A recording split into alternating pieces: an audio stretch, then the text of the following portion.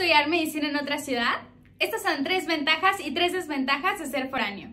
Ventajas. Número 1. Podrás quedarte a estudiar con tus amigos hasta tarde. 2. Las pedas los fines de semana para quitar el estrés acumulado es la mejor opción. Y pues tus papás no tienen que saberlo. ¡Locura! Número 3 y la mejor de todas. Aprovecha al máximo la oportunidad de conocer una nueva ciudad. Vi la oportunidad y la usé.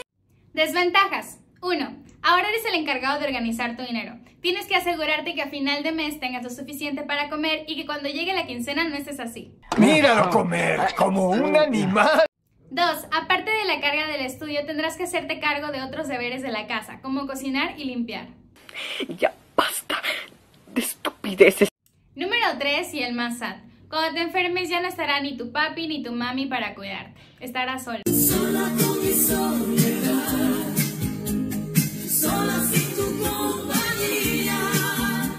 Si tú como yo careces de amor propio y decides estudiar medicina, entonces practica con nuestro simulador de examen de admisión completamente gratis y serás un aspirante seleccionado. Solo dale clic al link de WhatsApp.